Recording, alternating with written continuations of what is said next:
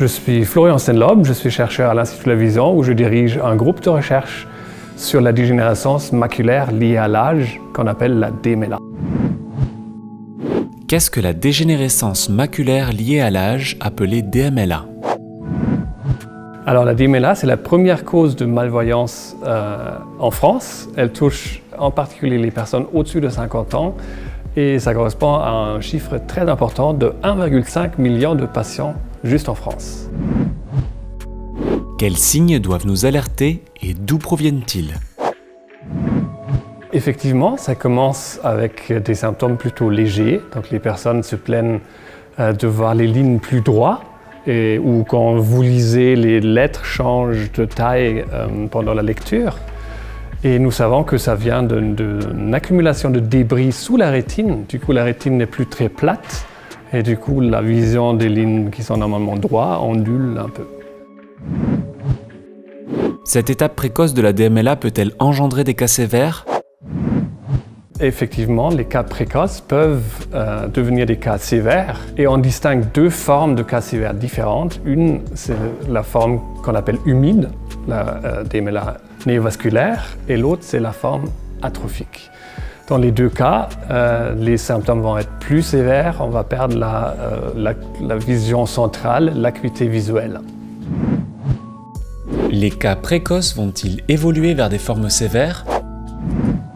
Alors, ce n'est pas tous les cas qui vont euh, devenir des cas sévères. C'est un peu moins que la moitié des cas précoces qui vont développer une, forme sévère.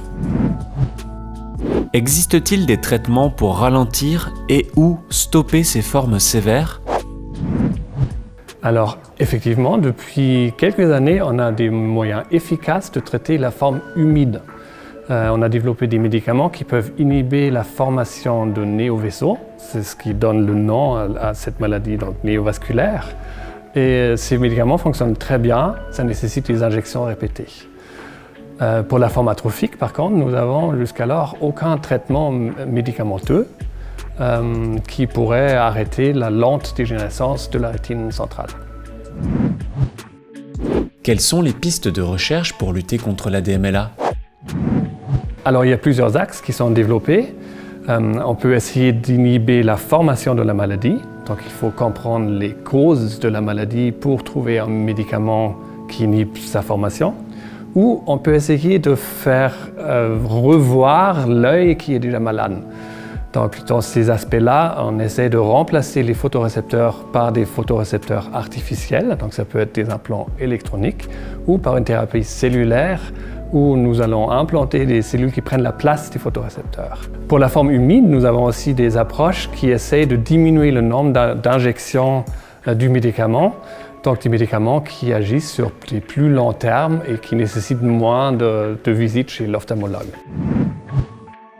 Peut-on espérer venir à bout de la DMLA atrophique dans un temps raisonnable? Alors je suis très optimiste que dans les années à venir, on va trouver un traitement efficace pour l'atrophie géographique, euh, comme on en a trouvé pour la forme humide il y a quelques années. Il y a beaucoup de monde euh, dans le monde entier qui font de la recherche pour trouver ce genre de thérapie et ça avance quand même euh, relativement vite. Et cela n'est possible que grâce aux dons qui sont faits à la recherche, notamment par Retina France qui nous aide grandement à mener ces recherches.